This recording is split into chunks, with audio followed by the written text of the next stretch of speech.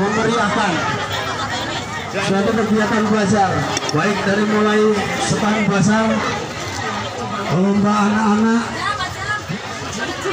dan kegiatan yang lainnya.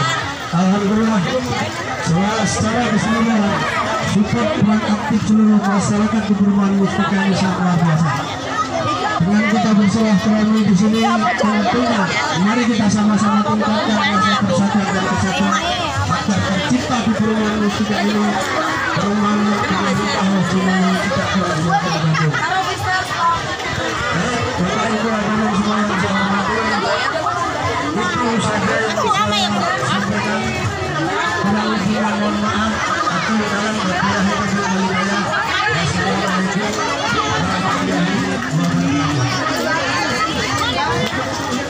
bersama.